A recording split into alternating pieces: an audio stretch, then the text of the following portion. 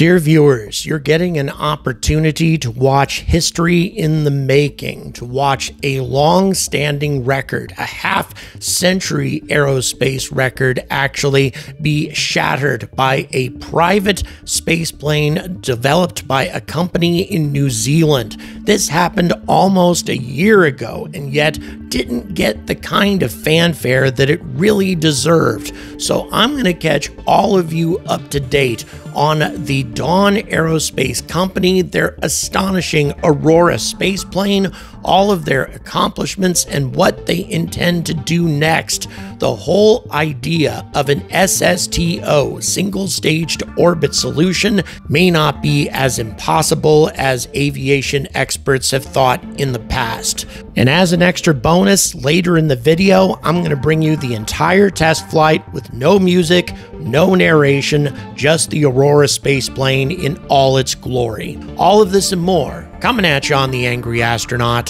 right now. Good morning, spaceflight enthusiasts, and welcome to another Angry Bulletin. So, today we're going to be talking a little bit about space planes, or particularly the space planes designed by Dawn Aerospace out of New Zealand an interesting company that is looking to do what no other company has ever been able to do when it comes to spaceflight, making this single stage to orbit solution or SSTO practical. Many companies have tried to design effective and practical space planes, and a lot of different solutions have been proposed from dropping a rocket from, from a larger airplane and then using that space plane to ascend the rest of the way to space, as Virgin Galactic does. And there have been other ideas which utilize hybrid engines, engines that start off as jet engines and then transition over to Hydrolox rocket engines. But none of these solutions has ever really worked. A lot of effort and a lot of money has been plugged into trying to come up with a practical way to make an SSTO design work. And those efforts, for the most part, have been faced by one disappointing failure after another. But in this case, with Dawn Aerospace, they seem to be making some real progress. Now, progress when it comes to small scale prototypes. These are not very big planes, but at the same time, what they're able to do is absolutely mind boggling. For example, just recently, a few months ago, this company and its Aurora space plane shattered a long standing record, a record that had been in place for half a century, set by a modified F 15 fighter. Okay, a multi million dollar jet fighter set this record, and now the Aurora space plane, a commercial space plane, has shattered this record and made history for New Zealand and for Dawn Aerospace. And as promised, here's the entire flight, fastest aircraft to 20 kilometers, shattering a record set by a modified F 15.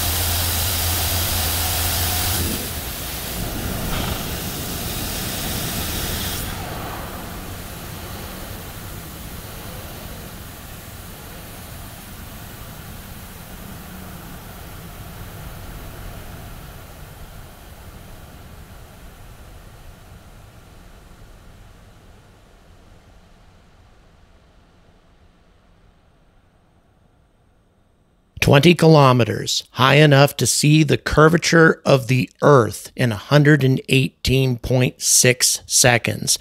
It beat the highly modified F 15 Streak Eagle by 4.2 seconds, and no faster aircraft has been introduced because most of the emphasis on combat aircraft these days is associated with stealth and not speed and rate of climb. Now, the Aurora relies on advanced propulsion, materials, and aerodynamic design to achieve this kind of performance. The aircraft uses a non toxic propulsion system of nitrous oxide and propylene stored as liquid gases under vapor pressure. During flight, these fuels are mixed and ignited in the combustion chamber. So, yeah, we're talking about rocket engines here, generating the thrust needed to propel the aircraft to supersonic speeds. The extreme forces and temperatures encountered during high speed flight require advanced composite materials such as carbon fiber and ceramic matrix composites. These lightweight, heat resistant materials help maintain the Aurora's structural integrity while minimizing weight, which is crucial for maximizing performance The aerodynamic design also plays a vital role in Aurora's ability to fly at supersonic speeds. The aircraft shape, nose cone, wings, and control surfaces must be carefully optimized to minimize drag and maintain stability. Computational fluid dynamic simulations and extensive wind tunnel testings were essential for validating these designs before the flight to ensure the aircraft could withstand the rigors of supersonic flight. The Aurora's rocket engine is key to its performance. Unlike jet engines, which rely on the surrounding air for combustion, rockets carry both fuel and oxidizer on board, meaning, of course, that it can operate above the atmosphere. It doesn't need an atmosphere to function. This allows them to operate in the thin upper atmosphere and even the vacuum of space. Rocket engines' high thrust to weight ratio and ability to function in low density air make them ideal for propelling aircraft to hypersonic speeds and suborbital altitudes. We can make educated guesses about the other tech the Aurora must use that Dawn Aerospace still needs to outline. A lot that they're not telling us, of course. For instance, it likely employs advanced thermal protection systems to manage the heat generated by air friction during supersonic flight. These likely include ablative coatings that gradually burn away, absorbing heat and protecting the underlying structure, or active cooling systems that circulate coolant to dissipate heat. Effective thermal management is critical for preventing structural damage and maintaining the aircraft's integrity during high speed flight. Precision guidance, navigation, and control systems make rapid and accurate adjustments to maintain stability and control. The aircraft likely incorporates advanced avionics, sensors, and actuators to enable autonomous flight and ensure precise maneuverability. Now, while the Aurora is designed for suborbital missions, the engineering principles and technologies it demonstrates have broader implications for the future of high speed flight, providing a test case for crewed vehicles capable of hypersonic point to point travel and routine access to space. This company quietly at the edge of the world in New Zealand, is on the brink of revolutionizing space travel. According to Dawn Aerospace CEO Stefan Powell, quote, with Flight Test 57, we retired the final major technical risk in the Aurora program, vehicle dynamics through the transonic regime. We have now confirmed the Aurora as the highest climb rate vehicle ever built. This milestone sets the stage for Aurora to become the world's highest and fastest flying aircraft and paves the way for the first operational hypersonic aircraft, redefining what's possible in aviation. The company plans to use the Aurora's capabilities to offer suborbital payload services, carrying payloads up to 250 kilograms for microgravity research, atmospheric science, Earth observation, and high speed flight testing. As a matter of fact, they've already secured a number of contracts to do precisely that.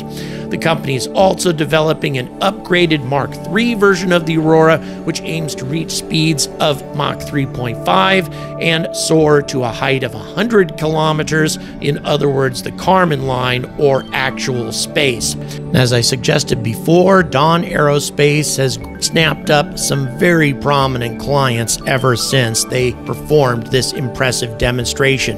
Arizona State University is flying a modified version of their Themis visual imaging system on one of these aircraft. California Polytechnic State University will test a student developed flight path reconstruction data acquisition system to collect GPS and air data in calibration with the Aurora plane systems. Also, John Hopkins will fly a payload interface system known as the Janus Light that measures the Aurora's payload bay environment, collecting data on the magnetic field, acceleration, pressure, and thermal conditions on the flight. In addition to that, Dawn Aerospace has made some prominent commercial partners. For example, All Nippon Airways has partnered with Dawn Aerospace to expand spaceplane payload services into Japan. Through this newly signed Memorandum of Understanding, ANA Trading will accelerate the introduction of Dawn's space demonstration service using the Aurora spaceplane into the Japanese market. This agreement reflects Dawn Aerospace's commitment to expanding its operations globally while deepening ties between the space industries of New Zealand and Japan. And then in Oklahoma, yes, the United United States has not missed on this opportunity either. They have now partnered with Oklahoma Spaceport. It's a relatively new spaceport that's coming into existence, trying to attract more aerospace business to the Oklahoma area. And they will be flying Dawn Aerospace planes from this spaceport as well. I'll provide you with a quote again from Stefan Powell, CEO of Dawn Aerospace, regarding this partnership. Quote, Our mission is to push the boundaries of aviation all the way to space, and Oklahoma is a perfect place in the United States to make that happen. By developing a rapidly reusable aircraft, we're bringing the efficiency of aviation to space flight, dramatically increasing flight frequency, cutting costs, and accelerating breakthroughs in science and space research research that deliver critical insights and services for a better future. And by the way, the Aurora is capable of reuse within five hours, not five months, not five weeks, not even five days, five hours. So, when it comes to reusability and single staged orbit solutions, may be that Dawn Aerospace is on the cusp of breaking through that previously impenetrable barrier that kept aircraft out of orbit.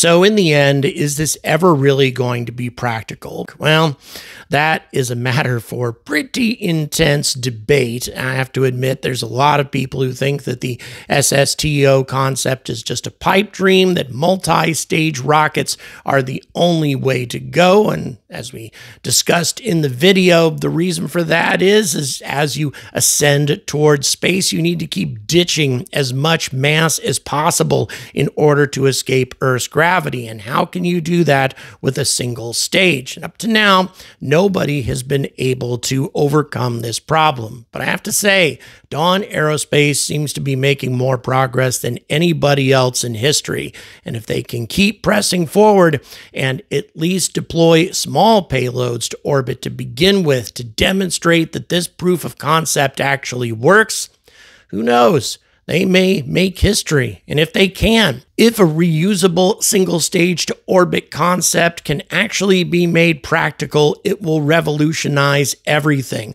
What Elon Musk is trying to accomplish with SpaceX and Starship will be so much easier to accomplish with a solution like this.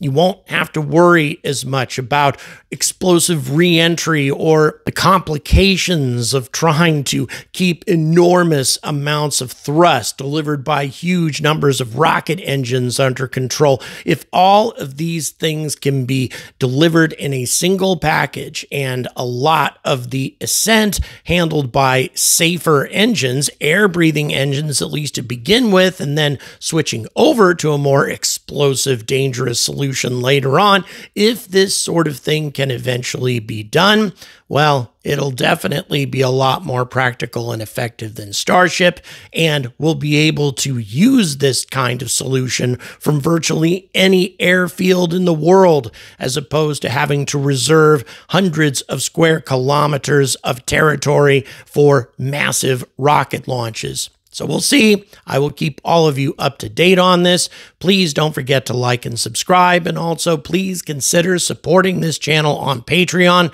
This is really what keeps my channel afloat is support like this. And of course, you get early access to a lot of my videos, plus some exclusive content and access to my Discord server and a lively community of really well educated folks, for the most part, who know a lot about spaceflight and other topics. So until next time, I urge all of you to stay angry about space.